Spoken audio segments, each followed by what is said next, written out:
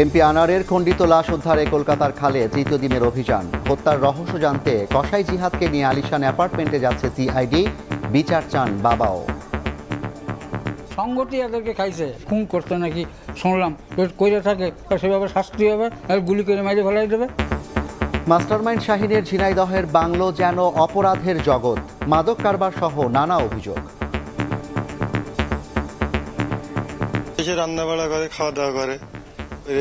বক্সে গান মান দেয়। মেজরিটি পার্সেন্ট পৈতৃক সম্পত্তি যেটা বাপের থেকে পেয়েছে আর বাকিটা ওর কেনা। ও একসময় ইটের ভাটা করছিল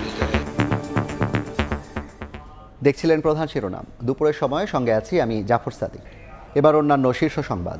গভীর নিম্নচাপ বরিশাল হতে চট্টগ্রামের ভিতর যে কোনো স্থানে আঘাত হানার সম্ভাবনা রয়েছে। ধেয়ে আসছে ঘূর্ণিঝড় রিমাল, উত্তাল সাগর। কাল সন্ধ্যায় আঘাত হানতে পারে উপকূলে। সাত থেকে আট ফুট জলোচ্ছ্বাসের আশঙ্কা। রাতে আসছে মহা বিপদ সংকেত। বিদেশে বসে দেশে অশান্তির হুকুম দিচ্ছে তারেক রহমান। পড়ে যাওয়া বঙ্গবাজার নতুন করে উদ্বোধন করে প্রধানমন্ত্রী। বললেন, একসময় বাংলাদেশ ছিল অস্ত্র চোরাচালান রুট।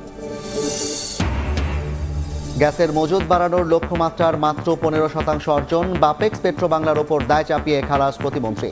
চট্টগ্রামে উনত্রিশ বিদ্যুৎ কেন্দ্রের মধ্যে দশ ইউনিটি অচল। এবং ভারতে লোকসভা নির্বাচনের ষষ্ঠ দফার ভোটে কেন্দ্রে কেন্দ্রে লাইন। মেয়েকে নিয়ে ভোট দিলেন সোনিয়া গান্ধী। ভাগ্য নির্ধারণ হবে দেব মালিয়া সহ এক ঝাঁক তারকা প্রার্থী।